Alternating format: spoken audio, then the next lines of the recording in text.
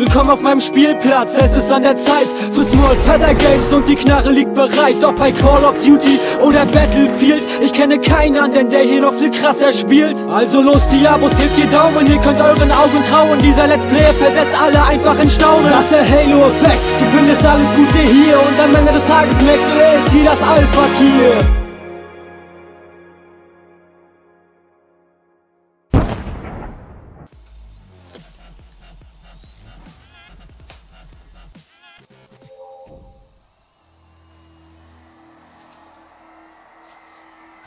Das denn jetzt? Egal, herzlich willkommen an alle Chicos und Chicas da draußen. Der Skyline ist am Start, genauso wie eine kleine Runde Let's Play 100 Abo Special. Ich bedanke mich wirklich riesig für eure Unterstützung, für die 100 Abo. Ich bin total happy darüber. Äh, und äh, ihr kennt jetzt meinen Spielstil. Ihr kennt jetzt meinen, na gut, meinen neuen Aufnahmeort kennt ihr noch nicht so ganz, aber äh, ihr kennt meinen Spielstil, ihr kennt meinen äh, Grund, warum ich diesen Kanal Smart Feather Game genannt habe, aber ihr kennt noch eine Sache nicht und zwar, mich kennt ihr noch nicht richtig und deswegen wollte ich euch heute etwas äh, über mich ein bisschen erzählen.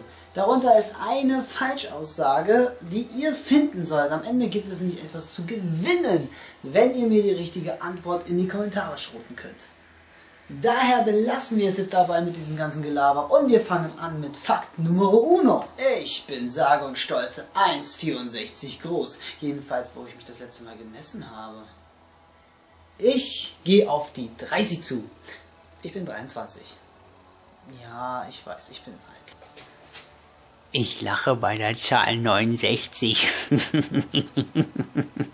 Seit über sechs Jahren höre ich immer wieder ein und dasselbe Lied immer und immer und immer wieder gerne.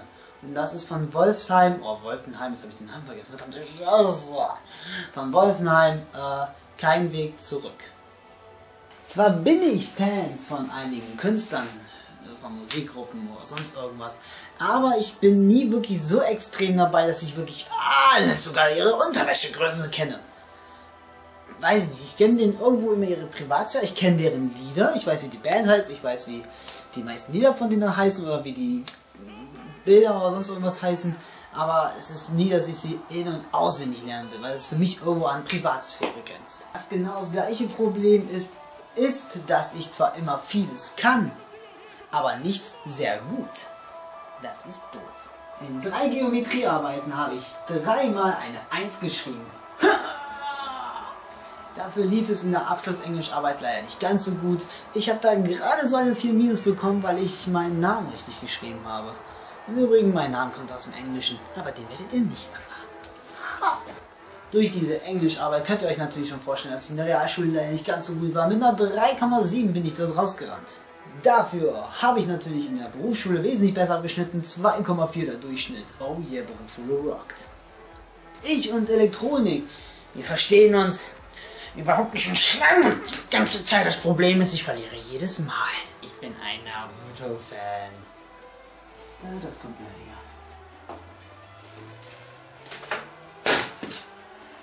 Ein Schwert! Falsch schon aufgehört. Keine Sorge, es geht ihm gut.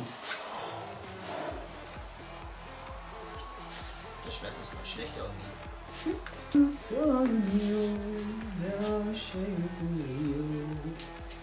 Wo waren wir? ähm, dafür hasse ich aber Dragon Ball. Das war das ist ein merkwürdiges Geräusch, was ich jemals rausgelassen habe. Zurzeit wisst ihr, bin ich ja wieder am Arbeiten, aber davor war ich ein Jahr lang arbeitslos. Wenn mich jemand fragen würde, ob es sich gelohnt hat, sich kündigen zu lassen von der letzten Arbeitsstelle, würde ich immer noch sagen, ja. Aus dem einfachen Grund, ähm, man wird dankbarer, was ich schon mal im Video erwähnt habe, man wird dankbarer und äh, man weiß mehr zu schätzen. Seit Jahren ernähre ich mich an dieser Fleischwurst hier. Ja, das war viel zu viel. Nam nam nam. Ich habe, und das ist jetzt mal was vollkommen Neues, was ihr noch nicht wusstet, zwei Katzen. Chico und Hawaii. Ich habe immer noch zwei Sternzeichen. Was wo an Fakt 18 liegen könnte. Ich hatte bisher nur eine Freundin.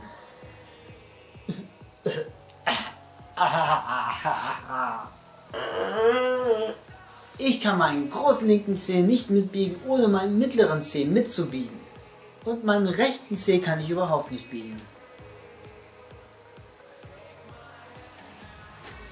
Ich bin Veganer. Hätte ich nicht gedacht, ja? Tja, mein Lieblings-Pokémon ist nicht Pikachu, sondern ein Badass Motherfucker of History. Mewtwo. Obwohl ich sagen muss, dass Sherox auch verdammt geile Sau ist und Absolian ist. Hm.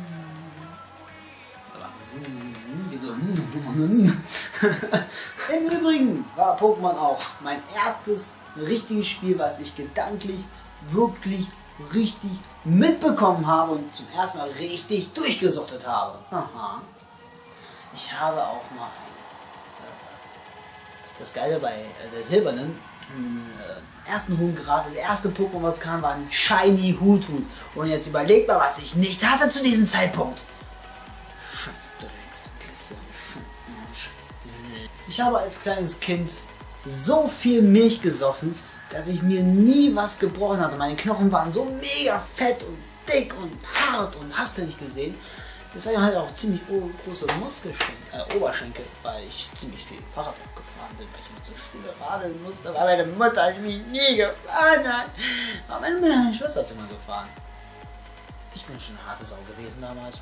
Und zum letzten Fakt, was ihr wahrscheinlich schon ein bisschen mitbekommen habt. Ich bin, wieder gehe ich immer weiter zurück. Ich bin seit meinem zweiten Ausbildungsjahr, was jetzt schon sechs Jahre her sein müsste, wenn ich jetzt auf die Schnelle jetzt so, äh, oder fünf Jahre, keine Ahnung, muss ich nochmal nachrechnen, äh, bin ich schon fünfmal umgezogen. Fünfmal! Deswegen zeige ich beide Hände voll. Zieht euch das mal rein, wie ernst mir diese Zahl ist. Scheiße, Schwachsinn ich jetzt gerade.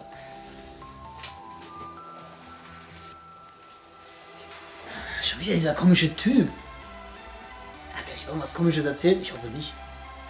Naja, wenn euch das Video bis dato gefallen hat, gebt ein Däumchen nach hoch. Und nein, das machen wir gar nicht. Macht, was ihr lustig seid. Gebt mir Daumen runter, wenn es sein muss. Ist mir auch egal. Schreibt alles in die Kommentare. Das ist mir immer auch am wichtigsten, mit euch zusammen etwas zu erleben. Ich hoffe, dass ich jetzt, wo ich die 100 habe, endlich eine Community zusammenkriege, die auch mit aktiv bei den Videos mitmacht. Wenn euch die Let's Plays, die ich mache, nicht gefallen, sprich, ich mache von einem Spiel, was ihr sagt, boah, das wollen wir echt nicht sehen, Skyline, macht doch bitte was anderes. So sagt es mir. Ich werde versuchen, es umzusetzen, euch äh, an den Kanal Spaß haben zu lassen, denn ich will ja mit euch gemeinsam äh, ähm, das, die, Welt des, die Welt der Spiele entdecken, mit euch gemeinsam Spaß haben und ähm, der Welt zeigen, dass Videospiele mehr als nur böse Rumgeballer sind. Das, das könnt ihr auch bei mir im Kanalintro lesen. Was heißt Kanalintro? Kanalinfo lesen. Das ist mir einfach wichtig und ich hoffe, dass ich euch dazu jetzt langsam motivieren kann, ein bisschen aktiver mal auf meinen Kanälen mit dabei zu sein. Gebt mir Hinweise, gebt mir Tipps. Ich mache, ich versuche alles, was mir in dem Moment möglich ist, umzusetzen, dass wir ja äh, gemeinsam viel, viel, viel erleben werden. Und jetzt, meine Damen und Herren, kommen wir zum Gewinnspiel. Ihr solltet ja in die Kommentare jetzt schroten, was wirklich jetzt von diesen ganzen Informationen wahr war. War, war, war, war, war, war, war, war, war, war, war, äh, Und ja, der Gewinner äh, bekommt mit freundlicher Unterstützung von Dissenter Nitron äh, bekommt er ein kleines Geschenkchen und zwar äh, eine Rückseite. Mit ganz vielen Bildern. Nein! Und zwar die äh, von der Collector Edition von äh, Driver San Francisco. Hier sehen wir es. Äh, das wunderschöne Sammlerauto. Er wollte es nicht mehr haben, hat mich gefragt, ob ich das haben will. Habe ich gesagt, wenn du nichts dagegen hast, wenn ich das verlose, hat er gesagt, ne?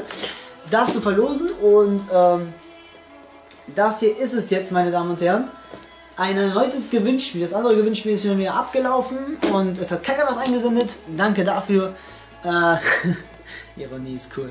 Und äh, jetzt habe ich dieses wunderschöne, wunderschöne Auto Collectors Edition.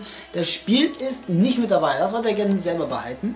Ähm, das gibt es jetzt zu gewinnen für euch. Schreibt in die Kommentare, was von den 25 Fakten nicht wahr sein könnte. Und der Gewinner, äh, den ich dann auslose, bekommt äh, ein wunderschönes Autochen. Ähm, Freunde, Bekannte sind in dem Sinne ausgeschlossen. Wie immer, das will ich nur mal gerade äh, anmerken. Äh, es geht für euch Abonnenten da draußen und für euch andere Zuschauer. Ihr müsst nicht unbedingt Abonnent sein, ihr könnt auch einfach ein Zuschauer sein, das ist mir egal. Es ist mir nicht wichtig. Wie gesagt, auch die normalen Zuschauer können Spaß an meinen Videos haben, ohne mich abonnieren zu müssen. Das ist mir wirklich vollkommen egal. Und ich hoffe, das merkt man auch in Art und Weise. Ähm, nicht einfach persönlich anschreiben und ich wiederhole mich gerade. Ich bin einfach noch immer ziemlich himmelig und aufgeregt, die 100 endlich erreicht zu haben, auch wenn es äh, nicht viel scheint. Für mich ist es wirklich äh, extrem viel. Wenn man jetzt bedenkt, dass ich jetzt seit knapp zwei Jahren dabei bin und jetzt die 100 Abonnenten geknackt habe. Wahrscheinlich zu dem Zeitpunkt überhaupt keine 100 mehr, sondern wieder nur 99 oder 98, weil irgendwer mich wieder deabonniert hat. Aber zu diesem Zeitpunkt, ich habe einen Screenshot auf der Facebook-Seite von mir und da ist 100 stehen. Äh, und der Kuro kann es auch beweisen, der jetzt gerade im Hinterzimmer ist und wahrscheinlich das ganze Gelaber mit anhören muss, was ich hier laber. Ja doof gelaufen. Gut, ja. Wie gesagt, schreibt in die Kommentare. Das Gewinnspiel geht bis zum ähm, bis zum äh, 1.10. Und äh, ja, bis zum 1.10. Was soll ich noch großartig sagen? Okay, ich bedanke mich fürs Mit... Äh, ich bedanke mich fürs Mitfiebern, für all die Spiele, die ihr jetzt mit angeguckt habt. Und äh, nochmal als Information äh, für euch nebenbei. Es geht mit allem weiter. Let's Play Randomness ist wirklich immer noch mit an äh, Start. Ich habe nur nicht wirklich die Möglichkeit, das aufzunehmen, weil mein Computer zu nah am Arsch ist. Aber das wird demnächst geändert. Das wird komplett alles umgebaut, umgemacht. Und dann äh, werde ich auch Let's Play Randomness aufnehmen können. Äh, Viva Pinata ist bis jetzt eine sehr lange Pause gewesen von diesem einen Monat, weil ich wirklich kein große Lust mehr habe, das zu machen. Vielleicht lasse ich mich umstimmen, wenn ihr was dazu sagt. Ihr könnt ja mal reingucken. Let's Play äh, oder Let's Build, Viva Pinata, schaut mal rein. Da könnt ihr sogar richtig aktiv mitmachen, indem ihr den Pinatas einen Namen gibt und alles drum und dran. Mit den Gartengestalten und sowas, das ist alles für mich gar kein Problem. Das mache ich alles mit euch gerne mit. Ansonsten, äh, ja. Ich will, ich will auch was sagen, aber ich bin gerade so richtig... Happy und sowas. Äh, ich bedanke mich wirklich herzlich fürs Zusehen und hoffentlich sehen wir uns irgendwann mal online. Ansonsten, ja, ist geil. Tschaußen. Und noch eine kleine Nachinformation, und zwar habe ich noch äh, etwas dazu bekommen, was ich an... Ähm, äh, Jetzt wir rollen einfach mal das eine aus, was wir sowieso behalten. Das eine aus, was wir sowieso behalten. Er hat ein, der Kuro ist heute Bombe drauf. Ich schmeiß doch einfach rüber. Ich schmeiß rüber. Und zwar habe ich noch was heute bekommen. Äh, einen Tag später, wo ich das äh, Video schon fertig habe, muss jetzt einmal komplett neu. Mach das Gummiband doch einfach ab. Mach's nicht kaputt, Junge. Das ist für meine wunderschönen Zuschauer hier. Ich muss aufhören, jedes Mal in die Kamera reinzugucken. Ich muss in die, in, auf den Bildschirm, nicht in die Kamera. Ihr wisst, was ich meine. Und, äh, ja, wir warten. Und wir warten? Und wir warten. Meine Katze miauen, weil ich gerade erst nach Hause gekommen bin und ich bin jetzt schon wieder voll in Stress und am Aufnehmen und am Machen und am Tun. Und zwar gibt es einmal wunderschön für den, also für den Erstplatzierten, das wisst ihr ja, das schöne Auto. Für den zweit Drittplatzierten äh, gibt es ähm, Katzen, Katzen, Katzen, Katzen, Katzen, Katzen, Katzen, Katzen. Katzen weg. Okay, äh, gibt es äh, äh, wunderschön einmal äh, das äh, neu erschienene Destiny Poster. Naja, mit PlayStation 4, ist ja egal. Äh, Gibt es ein wunderschönes Poster. Habe ich eine ganze Rolle von bekommen. Äh, wie man hier sieht, mehrere Stücke. Äh, einen behalten wir. Äh, je nachdem, wie ihr lustig seid äh, und ich euch anschreibe und sage, hier, du hast das Poster gewonnen. Ähm, wenn ihr sagt, ihr möchtet es gerne unterschrieben haben, dann unterschreibe ich das auch. Ich als großer YouTuber. äh, oh Gott. Warum bist du noch nicht? Ich bin der berühmteste. Ich habe 100 Abonnenten. Wahrscheinlich jetzt. Ich habe noch gar nicht geguckt heute. Ich muss mal rausvisieren. So. Äh, ich habe äh, wahrscheinlich nur noch 99 oder sowas. Aber zu dem Zeitpunkt hatte ich 100. Habe ich euch ja schon erklärt. Egal, ich rede wieder viel zu lange. Und äh, ja, das gibt zu gewinnen für den äh, zweiten, drittplatzierten und wahrscheinlich auch viertplatzierten. Ich habe jetzt keine Ahnung, wie viele Poster ich mitgenommen habe. Äh, gibt es dann halt das Destiny als äh, Entschädigung und ähm, für äh, ja, den Gewinner, das Auto. Ich bedanke mich fürs Zusehen und dann. Fünf habe ich mitgenommen. Es gibt fünf noch weitere zusätzliche Gewinner. Ich werde irre. Obwohl, ich könnte ja auch den ein 100. Abonnenten anschreiben und sagen, ey, hier, äh, als Dankeschön, dass du der 100. bist, äh, gebe ich dir ein äh, Poster mit. Das überlege ich mir vielleicht. Das weiß ich jetzt noch nicht so genau. Äh, ihr werdet das dann sehen. In einem Video werde ich dann äh, verlosen, falls überhaupt jemand äh, unter diesem Video hier was schreiben wird. Ich weiß es ja nicht. Ansonsten, ja. 自己老。哇哇哇哇